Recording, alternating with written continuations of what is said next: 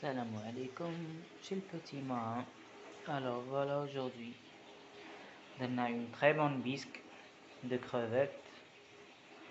Elle est bien épaisse. ومن بعدو رحنا l'espadon. L'espadon c'est façon escabeche, quelques légumes à compoter Onlarda en fond de bisque. Ribober déroule les, les bandes pardon. Voilà, oui, ah oui, Normalement, ça va être bon.